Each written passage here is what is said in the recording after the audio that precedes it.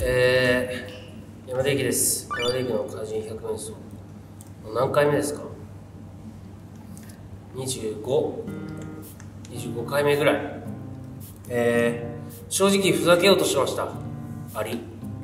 僕は今回アリになるっていうことでうーん正直ちょっとネタ会にしようと思ったんですけどちょっと写真見たら良すぎてあの某ハイブランドのなんかファッションページみたいになるやもしれません。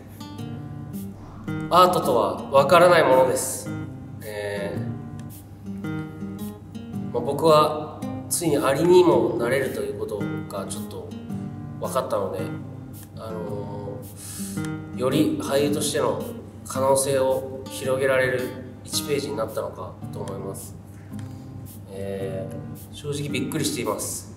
みんなで半笑いになりながらなんでこんないいん？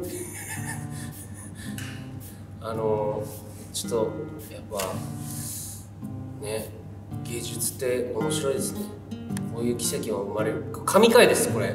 あの本当にみんなふざけようとしてました。あのこれ僕だけじゃないです。あのスタッフさんも含めて。